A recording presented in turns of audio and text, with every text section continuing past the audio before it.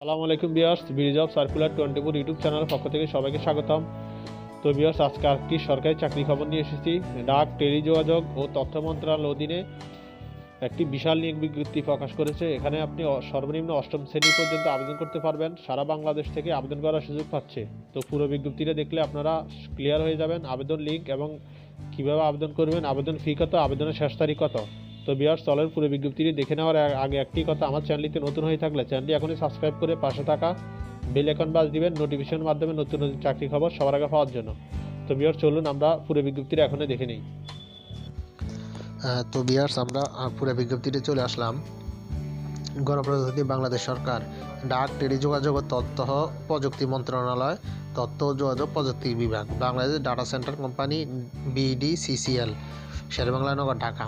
আঠাশে ডিসেম্বর পত্রিকাতে একটা বিজ্ঞপ্তিটি প্রকাশ করা হয়েছে, Bangladesh data centre company limited এর নিম্নবর্ণিত শূন্য পদে সরাসরি জনবল নিয়োগের লক্ষ্যে যোগ্যতা সম্পন্ন বাংলাদেশি নাগরিক নিয়োগেতে অনলাইনে দরখাস্ত আহ্বান করা যাচ্ছে। তার সারা বাংলাদেশ থেকে আবেদন করার সুযোগ পাচ্ছেন।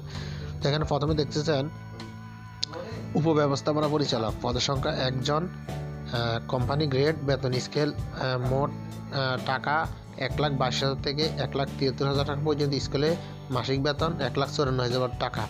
বয়সসীমা অনুদ্ধ পঞ্চান্ন বছর সর্বোচ্চ, ন্যূনতম শিক্ষা যোগ্যতা অভিজ্ঞতা। সরকার অনুমোদিত বিশ্ববিদ্যালয় থেকে সিএসই সিএসআইটি সহ যে কোনো প্রকৌশলী বিষয়ে ন্যূনতম স্নাতক ডিগ্রি। সরকারি বেসরকারি প্রতিষ্ঠান নির্বাহী কাজে ন্যূনতম বিশ বছর অভিজ্ঞতা। এরপরে ডাটা সেন্টার পরিচালনায় অভিজ্ঞতা সম্পন্ন প্রার্থীদের অগ্রাধিকার দেওয়া হবে।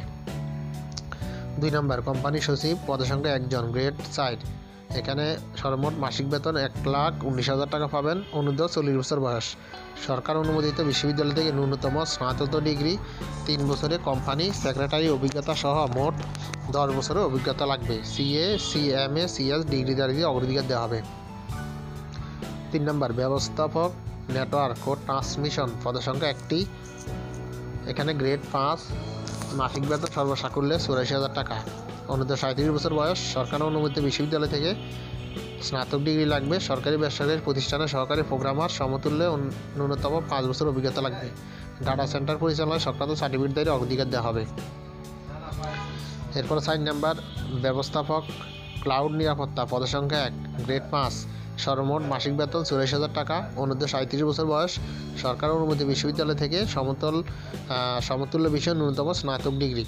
সরকারি বেসরকারি প্রতিষ্ঠানে সহকারী প্রোগ্রামার, পাঁচ বছর অভিজ্ঞতা থাকতে হবে। পাঁচ নম্বর, ব্যবস্থাপক, প্রশাসন ও মানব সম্পদ। পদসংখ্যা একজন গ্রেড পাঁচ সর্বমোট মাসিক বেতন চল্লিশ হাজার টাকা। অনুদ্ধ সাঁত্রিশ বছর বয়স। সরকার অনু- অনুমতি বিশ্ববিদ্যালয় থেকে স্নাতকোত্তর, এম ডিগ্রি। সরকারি বেসরকারি প্রতিষ্ঠানের ব্যবস্থাপক পদে পাঁচ বছর অভিজ্ঞতা লাগবে। ছয় নম্বর, সহকারী ব্যবস্থাপক মেকানিক্যাল পদের সংখ্যা দুই। গ্রেড ছয়, মাসিক বেতন সাতষট্টি হাজার সাতশো টাকা অনুদ্ধ বত্রিশ বছর বয়স। সরকার অনুমতি বিশ্ববিদ্যালয় থেকে এমই সমতুল্য বিষয়ে স্নাতক ডিগ্রি, ডাটা সেন্টার পরিচালনা সংক্রান্ত সার্টিফিকেট দিয়ে অগ্রাধিকার দেওয়া হবে। সাত নম্বর সহকারী ব্যবস্থাপক, প্রশাসন, মানব সম্পদ। পদের সঙ্গে একজন গ্রেড ছয়। সর্বমোট মাসিক বেতন সাতষট্টি হাজার সাতশো টাকা অনুদ্ধ বত্রিশ বছর বয়স। সরকার অনুমোদিত বিশ্ববিদ্যালয় থেকে বিবিএম সহ স্নাতক ডিগ্রি লাগবে। ম্যানেজমেন্ট বিষয়ে ডিপ্লোমা দাঁড়িয়ে অধিকার দেওয়া হবে। সরকারি ব্যবস্থাপক হিসাব অর্থ। পদের সঙ্গে একজন গ্রেড ছয়। বেতন চল্লিশ হাজার থেকে সাতষট্টি হাজার। সর্বমোট মাসিক বেতন সাতষট্টি হাজার। অনুদ্ধ বত্রিশ বছর বয়স। সরকার অনুমোদিত বিশ্ববিদ্যালয় থেকে স্নাতক ডিগ্রি। নয় নম্বর, সহকারী ব্যবস্থাপক, বিপণন, ব্যবসা, প্রসার। একজন নিবে গ্রেড ছয়, চল্লিশ হাজার সাতষট্টি হাজার টাকা বেতন অনুদ্ধ বত্রিশ বছর বয়স। সরকার অনুমতি বিশ্ববিদ্যালয় থেকে বিবিএ ডিগ্রি। দশ নম্বর, ক্রয় কর্মকর্তা। পদসংখ্যা একজন বেতন পঞ্চাশ হাজার টাকা অনুদ্ধ বত্রিশ বছর বয়স। এখানে স্নাতক ডিগ্রি ছাড়ছে এরপরে এগারো নম্বর নিরাপত্তা কর্মকর্তা। একজন গ্রেড সাত, পঞ্চাশ হাজার টাকা বেতন, বত্রিশ বছর বয়স, স্নাতক ডিগ্রি চাচ্ছে তবে সরাসরি বাহিনী অবসরপ্রাপ্ত কর্মকর্তাদের অগ্রাধিকার দেওয়া হবে। তাদের ক্ষেত্রে বয়সীমা শিথিলযোগ্য। পঞ্চাশ হাজার অনুদ্ধ বত্রিশ বছর বয়স। সরকার অনুমোদিত ই সমতুল্য বিষয়ে চার বছর মেয়াদি ডিপ্লোমা। এরপরে তেরো নম্বর। উপসহকারী প্রকৌশলী, গ্রেড সাত, এখানে চোদ্দ কত? তেরো নম্বর, তিনজন নিবে। পঞ্চাশ হাজার টাকা বেতন। এটাও চার বছর মেয়াদি ডিপ্লোমা চোদ্দ নম্বর। উপসহকারী প্রকৌশলী ইলেকট্রিক্যাল গ্রেড সাত। এটা পঞ্চাশ হাজার টাকা নিবে বত্রিশ বছর অনুদ্ধ বয়স। এটা চার বছর মেয়াদি ডিপ্লোমা পনেরো নম্বর। উপসহকারী ইলেকট্রিক দুইজন নিবে বেতন পঞ্চাশ হাজার বত্রিশ বছর বয়স চার বছর মেয়াদি ডিপ্লোমা।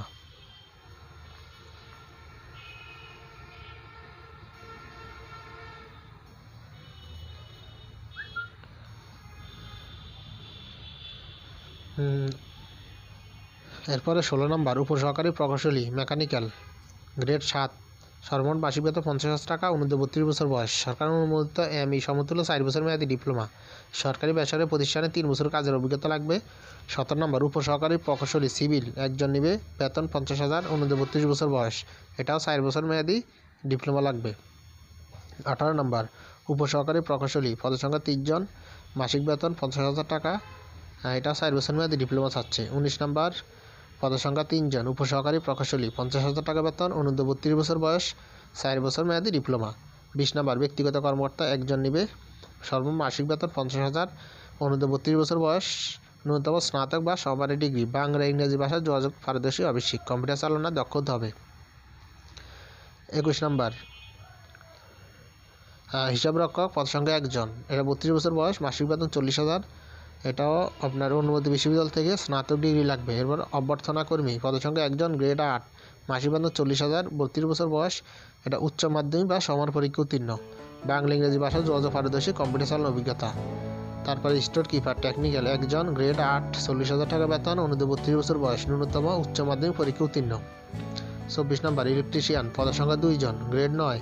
সর্বমোট মাসিক বেতন পঁয়ত্রিশ হাজার অনুন্নতি বত্রিশ বছর বয়স, এটা এসএসসি পাস ইলেকট্রিক হিসাবে তিন বছরের অভিজ্ঞতা লাগবে। বা প্লাম্বিং মিস্ত্রি, গ্রেড নয়, সর্বমোট মাসিক বেতন পঁয়ত্রিশ হাজার অনুদ্ধ বত্রিশ বছর বয়স, এটা এসএসসি পাস তিন বছরের অভিজ্ঞতা। সহকারী বাবুসি পদের সঙ্গে একজন, গ্রেড দশ, এটা মাসিক বেতন আঠাইশ হাজার অনুদ্ধ বত্রিশ বছর বয়স, ন্যূনতম অষ্টম শ্রেণি পাস পরিচ্ছন্নতা কর্মী দুইজন, গ্রেড দশ, বেতন আঠাশ হাজার টাকা অনুদ্ধ বত্রিশ বছর, এটাও অষ্টম শ্রেণি পাস তবে অভিজ্ঞতা হলে ভালো হয় এগুলাতে।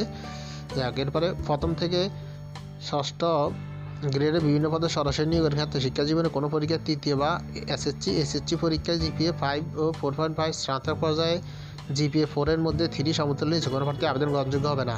সপ্তম থেকে অষ্টম পদের জন্য সরাসরি নিয়োগের ক্ষেত্রে শিক্ষা জীবনে তৃতীয় শ্রেণি এসএসসি এসএসসি গড়ে আবেদন করতে পারবেন না। এর কোনো বিদেশ, কোনো প্রার্থী বিদেশ হতে তার অর্জিত কোনো ডিগ্রি সহমানে বলে দাবি করলে সংশ্লিষ্ট ইকুব্যালেন্স কমিটি কর্তৃক ইকুব্যালেন্স সনদের মূল কপি পরীক্ষা সাক্ষাৎকার উপস্থাপন করতে হবে। তারপরে সকল প্রার্থীদের অনলাইনে এই যে অনলাইনে ওয়েবসাইট আগামী একুশে জানুয়ারি দু হাজার একুশ তারিখে অফিসিয়াল আগামী সময়ের মধ্যে পৌঁছাতে হবে। এই যে আবেদন লিঙ্ক ওয়েবসাইটের মাধ্যমে আবেদন করতে হবে।